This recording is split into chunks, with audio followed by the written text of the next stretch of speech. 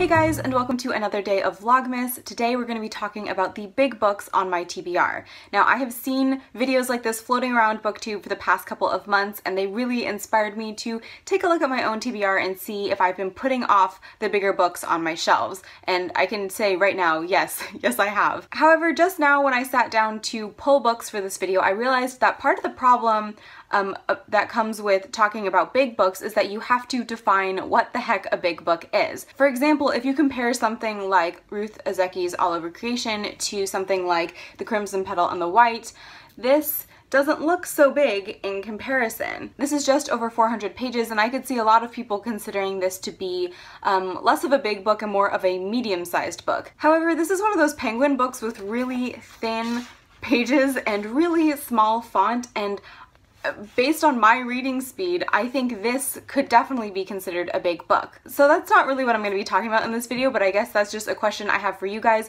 What do you consider to be a big book and is it related to just pages or is it related to your reading speed as well? Now I do think that we can all agree that a book over 500 pages definitely counts as a big book. So the rest of the books here that I have to show you guys are um, at least 500 pages and um, a lot of them are quite a bit more. So to go from smallest to largest, the first big book on my TBR is J.K. Rowling's A, Ca a, Casual Words, man. The first big book on my TBR is J.K. Rowling's The Casual Vacancy, which weighs in at a um, relatively doable 503 pages. Now, I have somehow been able to avoid all talk about the ca casual vacancy. I don't know anything about it, and I'm actually planning on adding this one to my winter TBR, which you guys will see in a couple of weeks. I'm really not sure why I haven't picked this one up quite yet because um, I really don't actually feel that intimidated by it. I think because it's J.K. Rowling and because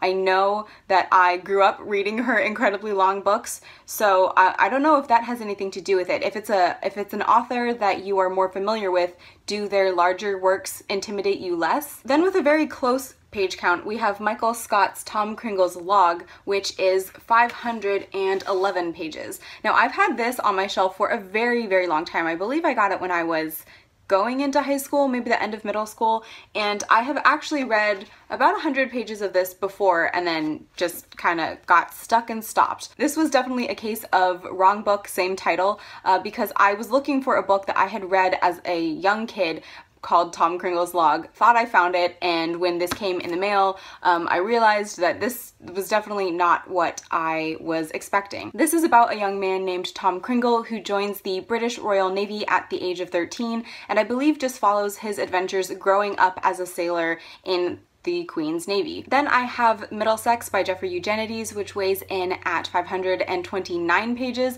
and I really don't feel too bad about um, not picking this one up yet because I just actually got this last month. Then I have Deja Dead by Kathy Reichs, which weighs in at 532 pages, so not too far off of the last book, but this one is a mass market paperback, and that begs the question, how do you factor in the book size into how long your books are? So mass market paperbacks tend to be smaller books than say a standard paperback and therefore that means that the pages are smaller, they can fit less less text per page, so they have to have more pages. For some reason, when it comes to mass market paperbacks, they really have some weird pull over me. Something about a petite, long book really makes me want to pick it up, and that's actually why I picked up um, The Girl with the Dragon, the Dragon Tattoo when I did, because I was looking at the airport for what could I possibly read, and it, I wasn't at all phased by the fact that this one is over 600 pages. Now, I also got this one fairly recently, so that is why I haven't gotten to it yet, but I also don't really feel intimidated by this one,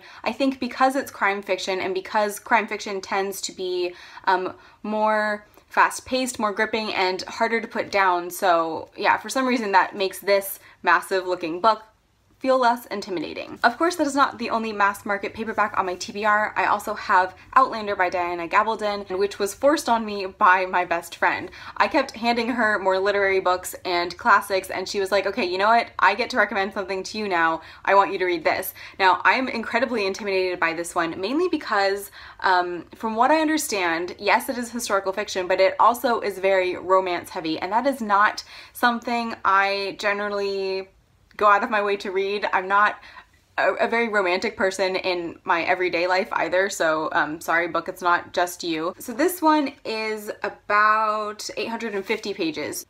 Ah, I, I am. I'm very intimidated by this one. And lo and behold, we have another romance that I am incredibly, incredibly intimidated by, and that is The Bronze Horseman by Paulina Simons. I believe this is the first book in a series. I could be totally wrong, but I saw this for the first time on Cat or Catriona's channel, The Little Book Owl, and she raved about this as a great historical fiction set in Russia, which is not something I have read before and which really intrigued me. So when I saw this in the bargain book box at uh, Green Apple Books in San Francisco. It was like $2. I kind of had to pick it up.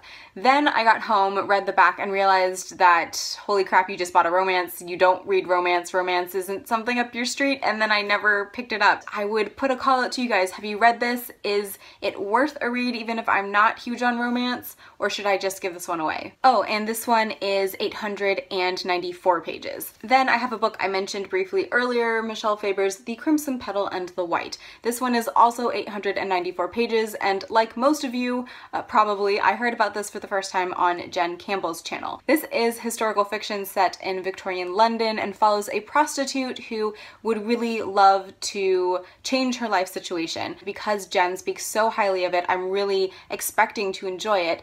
But that being said, I have mentioned this before, I'm not a very fast reader, and I know that if I choose to pick this up in a month, it has to be in a month that I am not expecting to get a lot of reading done otherwise. And then the last book on my TBR is one that I'm actually currently reading, and that is James Michener's Hawaii. Now this one, this one breaks the scale, you guys. It weighs in at a whopping 1,131 pages. I very ambitiously put this one on my fall TBR with the disclaimer that I knew I was not going to get remotely close to finishing it in fall. Um, I am currently 23 pages through. This is basically a grand historical look at Hawaii. It starts off with the literal creation of the Hawaiian Islands and right now I'm reading about I guess some aboriginal um, people. I know this is a book that both my parents really loved when they were my age so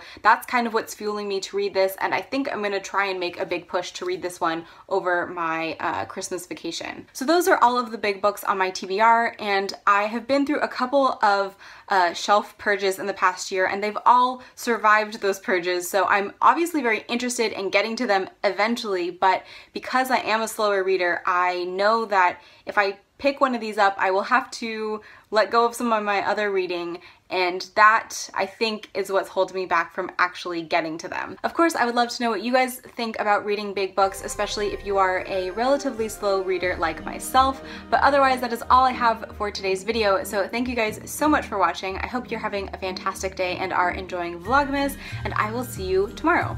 Bye! All over crea creation by Di Diana, I can't say her name.